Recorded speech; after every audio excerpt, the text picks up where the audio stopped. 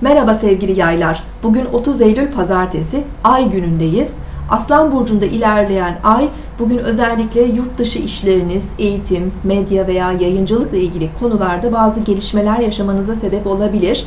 Bu kavramlarda sürüncemede kalmış bir işiniz hakkında sonuçlar görebilirsiniz.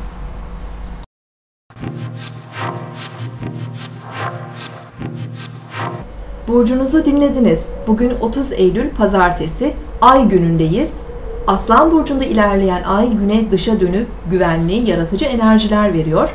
Ancak sabahın ilk saatlerinde Ay Satürn karesinin etkisinde olacağımız için duygusal olarak biraz sıkıntı ve karamsarlık hissedebiliriz. İlerleyen saatlerde bu etkiler yavaş yavaş dağılacak. Öğleden sonraki saatlerde Ay-Uranüs arasında oluşacak üçgen açı enerji ve motivasyonumuzu arttıracaktır. Hareketli, sürprizli, eğlenceli bir gün geçirebiliriz. Sosyal faaliyetler, hobiler, sanatsal çalışmalar için oldukça uygun bir gündeyiz. Yarın tekrar görüşmek üzere. Hoşçakalın.